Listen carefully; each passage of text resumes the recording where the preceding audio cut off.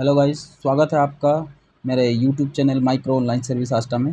आज मैं आपको पूरी ऑनलाइन की जानकारी दूँगा, जैसे एसएससी का एक भर्ती निकला, बम्पर भर्ती है दोस्तों। इसके लिए आप मेरे साथ पूरे वीडियो में बने रहिए। मैं कंप्लीट जानकारी आपको सारी चीज़ें बताऊँगा। सबसे पहले मैं आपको बताना चाहूँगा एसएससी कंबाइंड ग्रेजुएट लेवल की एक पोस्ट निकली है। एसएससी का मतलब क्या है यह समझ लीजिए स्टाफ सिलेक्शन कमीशन इसमें आपको जो है सीजीएल ग्रेजुएशन लेवल पे जो पोस्ट निकली है उसकी पूरी डिटेल आपको बताने जा रहा हूँ मैं। आ, ये पोस्ट जो है सत्रह नौ दो हज़ार बाईस से चालू हुआ है। लास्ट डेट है इसका आठ दस दो हज़ार बाईस। इसका जो है फ़ीस जो आपको अगर कोई रह जाता है काटने से तो उसके लिए नौ दस दो हज़ार बाईस की डेट इसमें दिया गया है।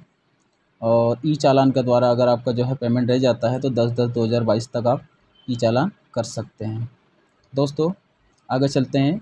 आपका जो है एग्ज़ाम जो रहेगा, उसका एग्ज़ाम शेड्यूल उसने, इसमें दिया गया है दिसंबर 2022 ठीक है? अब आगे मैं आपको पूरी डिटेल बताता हूँ। इसमें आपकी फ़ीस के इंस्ट्रक्शन दिया गया है, जनरल ओबीसी और ईडब्ल्यूएस ईडब्ल्यूएस इन सब के लिए आपको जो है सौ रुपये का आपका चार्जेस कटेगा। एसटी एससी और पीएच यानी कि विकलांग कैटेगरी इसके लिए कोई फ़ीस नहीं है। दोस्तों, आपको ज़ीरो फ़ीस रहेगी।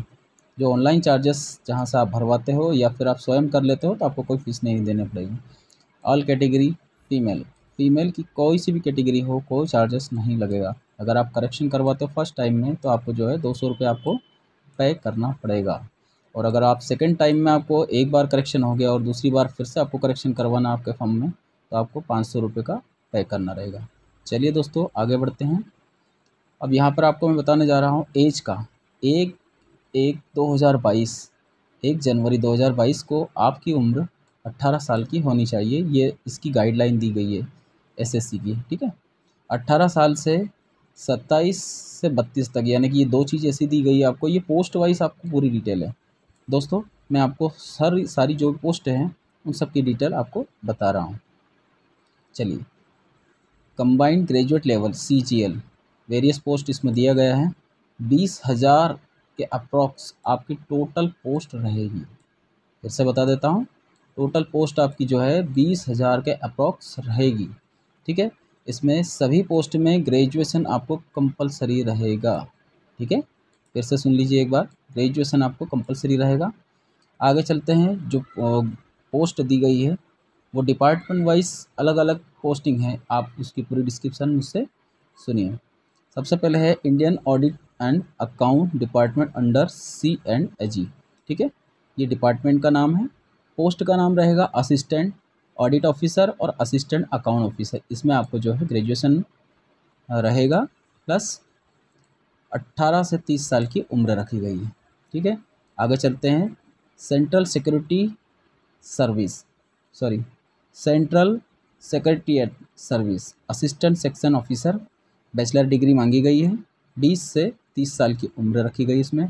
इंटेलिजेंस ब्यूरो ये पोस्ट आप सभी लोग जानते ही हैं आईबी के बारे में तो।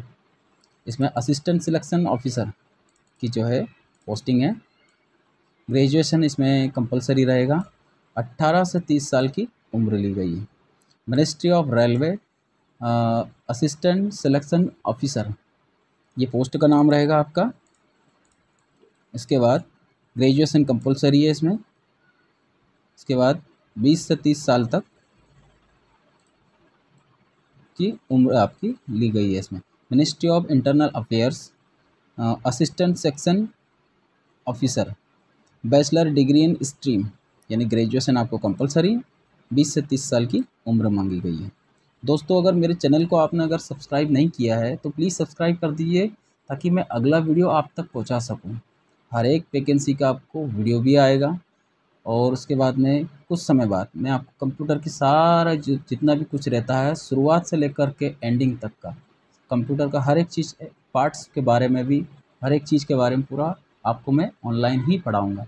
तो जिन लोगों ने मेरे वीडियो को सब्सक्राइब नहीं किया है, वो प्लीज़ सब्सक्राइब कर दीजिए और आगे इसे फॉरवर्ड भी कीजिए ताकि जो नए स्टूडेंट हैं, जिन्हें इन सब चीज़ों की ज़रूरत हो, वो अपडेट भी होते रहें प्लस फ्री में आपको एजुकेशन भी मिलती रहे तो चलिए दोस्तों, आगे की पोस्ट में आपको बता रहा हूँ।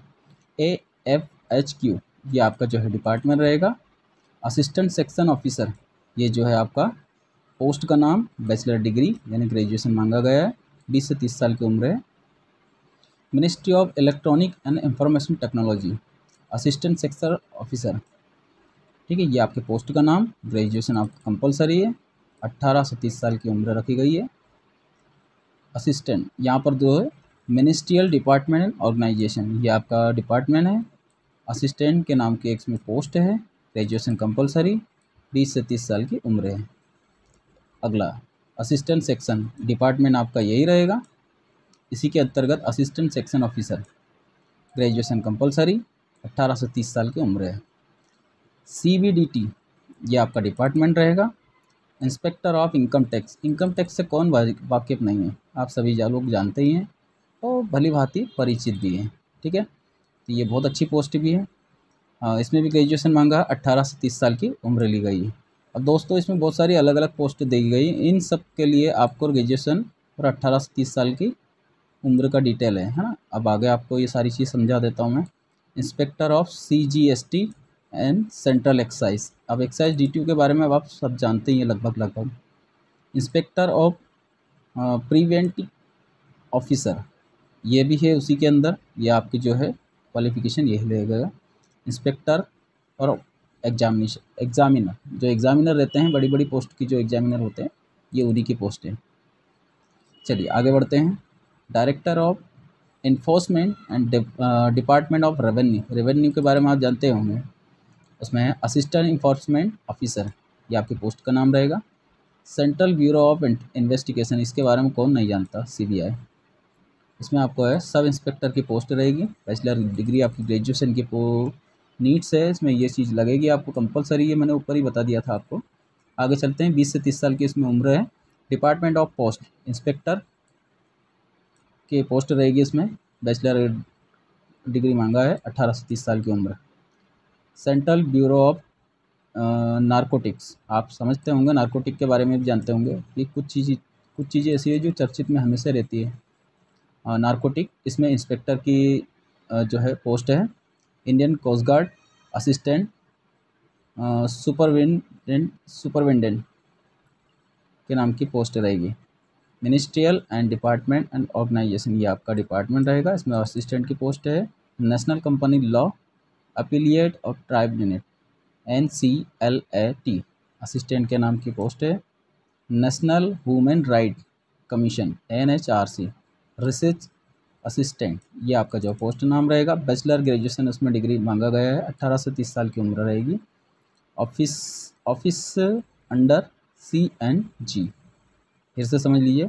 Offices under C and G. Divisional accountant, ये आपके जो पोस्ट का नाम रहेगा। ग्रेजुएशन इसमें कंपलसरी है। अट्ठारह से तीस साल की उम्र रखी गई है। इसी के अंतर्गत ये जो आपकी जो ग्रेजुएशन जो क्वालिफिकेशन है, इसी के अंदर एक और पोस्ट है। National investigation agency, NIA. आप इसके बारे में अच्छे से जानते हैं, एनआईए। इसमें जो है, सब इंस्पेक्टर, एसआई की पोस्ट रहेगी। आगे बढ़ते हैं। स्टेटिक एंड प्रोग्राम इम्प्लीमेंटेशन, ये आपका जो है डिपार्टमेंट रहेगा। जूनियर स्टेटिकल ऑफिसर, ये आपकी पोस्ट का नाम। ग्रेजुएशन मांगा गया है। अब इसमें आप थोड़ा सा समझ लीजिए, थोड़ा सा अलग कुछ चीज़ें मांगी गई है। ग्रेजुएशन ऑफ़ एनी स्ट्रीम यानी कि आपको किसी भी एक सब्जेक्ट से ग्रेजुएशन तो है ही बट साठ प्रतिशत के साथ आपको पास आउट होना प्लस मैथ सब्जेक्ट इन बारहवीं स्टैंडर्ड आपको होना चाहिए। बैचलर ग्रेजुएशन आपका जो है, वो भी होना चाहिए, लेकिन सब्जेक्ट जो है आपका स्टेटिक रखा गया। अट्ठारह से बत्तीस साल की उम्र रखी गई इसमें। रजिस्ट्रार जनरल ऑफ़ इंडिया ये आपका जो है डिपार्टमेंट रहेगा statistical investigator statistical investigator grade two ये आपकी पोस्ट का नाम। ग्रेजुएशन इसमें लिया गया, लेकिन स्टेटिक से ही आपको होना चाहिए सब्जेक्ट आपका। अट्ठारह से तीस साल की उम्र ली गई है। Office under C and A G auditor ये आपकी पोस्ट ये आपका जो है डिपार्टमेंट रहेगा। मिनिस्ट्री एंड डिपार्टमेंट इसमें भी ऑडिटर ग्रेजुएशन आपका कंपलसरी अट्ठारह सत्ताईस साल की उम्र है।